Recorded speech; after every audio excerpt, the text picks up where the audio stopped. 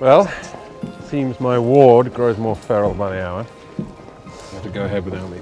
For God's sake, man, it's as bad as having a bastard. But slightly less fun to come by, I should think. Be alert, Sidney. See who approaches.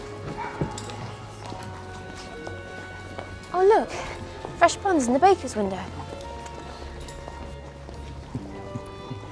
Why, Charlotte Heywood, you are a dark horse.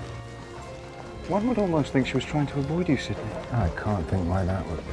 Must make quite an impression on the poor girl.